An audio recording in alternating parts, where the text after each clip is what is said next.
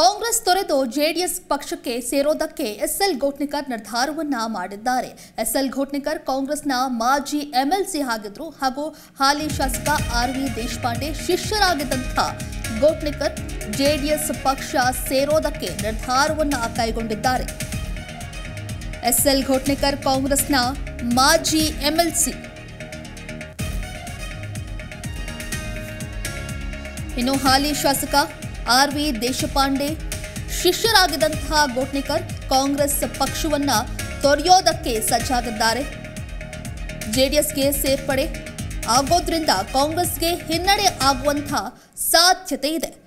ಇನ್ನು ಗೋಟ್ನಿಕರ್ ಜೆಡಿಎಸ್ಗೆ ಸೇರ್ಪಡೆ ಆಗೋದ್ರಿಂದ ಕಾಂಗ್ರೆಸ್ಗೆ ಹಿನ್ನಡೆ ಆಗುವಂತಹ ಬಹುತೇಕ ಸಾಧ್ಯತೆ ಇದ್ದು, ಗುರು ವಿರುದ್ಧವೇ ಸಿಡಿದು ಜೆಡಿಎಸ್ ಸೇರಲಿದ್ದಾರೆ.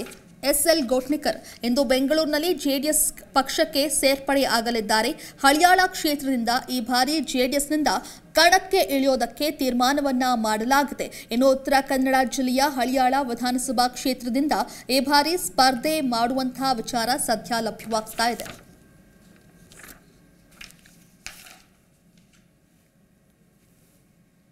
ಪ್ರತಿಕ್ಷಣದ ಸುದ್ದಿಗಾಗಿ Zee Kannada news app download ಮಾಡಿ. Live TV latest updates entertainment lifestyle technology ಸುದ್ದಿ ನಿಮ್ಮ ಅಂಗೈಯಲ್ಲಿ.